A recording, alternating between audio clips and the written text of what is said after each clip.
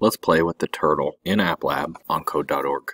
From the dashboard, click Create an AppLab to start a new project. Navigate to the turtle section and click Move Forward. Let's change this to 100.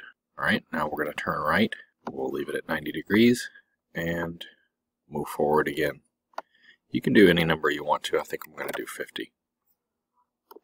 Make a rectangle or a square, any shape you want to, by continuing the pattern move forward, turn right, move forward, turn right. Let's see what we've got. Okay, I want this one to be 100, this one to be 50, and I think I'll have it. No, that didn't work at all. Oh, look here, I've got two move forwards. There we go. That's a little bit weird. Uh, let's see. 100, 50, 50. There we go. Make a box. That's all we're doing. Okay, now let's turn this shape into a function called makeBox. Your box can look different than mine, it doesn't matter. And then you'll drag all this code inside of it. So we've defined a function called makeBox. If you run it, you won't see anything because now we need to call the function makeBox up here with the little skinny one. And we've got exactly what we had before. All right, now let's go to control and get a for loop so we can make lots of boxes. We'll put this little skinny one inside and after each box let's go back to turtle and turn just a little bit. Maybe three degrees.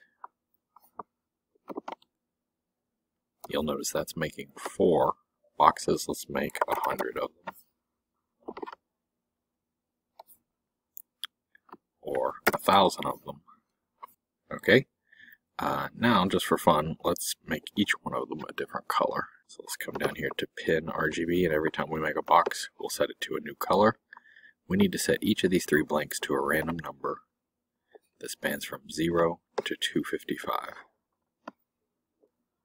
So I'll just tab through 0, 255.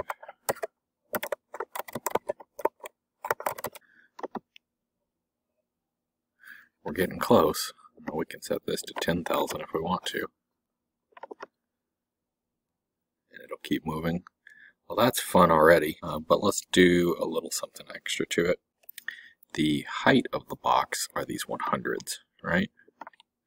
So why don't we, right where it says 100, or whatever you chose, let's just type the word height.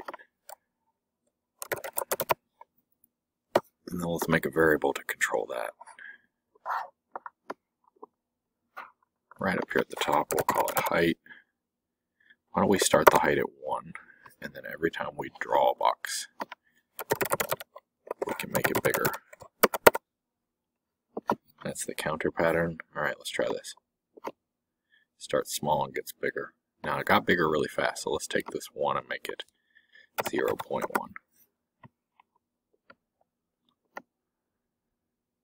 There we go. Fun with Turtle.